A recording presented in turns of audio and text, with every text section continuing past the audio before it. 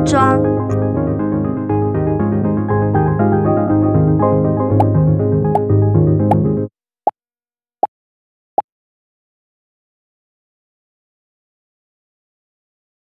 今天又要背诗了，这次要背四十个字的《过故人庄》。我讨厌背诗，背了又没有用，我又不是诗人。每次死记，头脑都爆炸了。唉，你这大胆妖徒，竟然批评我的诗！你是谁？我是孟浩然。读一首诗，要知道里面字的含义。每一首诗都含有诗人的感情。故人具鸡黍，邀我至田家。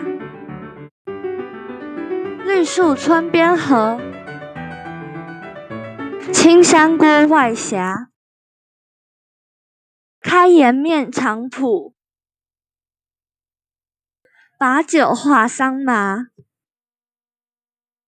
待到重阳日，还来就菊花。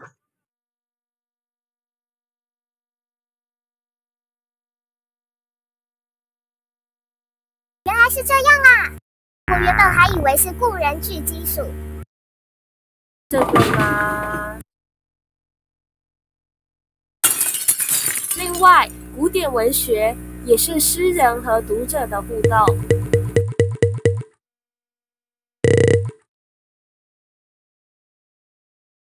也可以让现代人了解到古人生活。嗨，小金，十年没见了吧？过得还好吗？哇，是小华，我来准备饭菜给你吃。好呀，我也一起帮忙。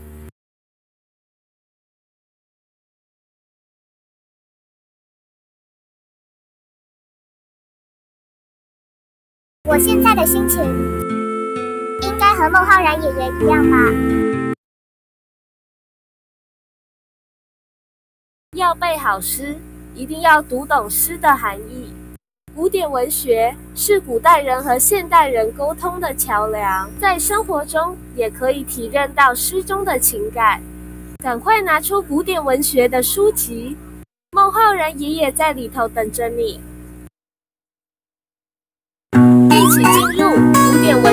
世界吧！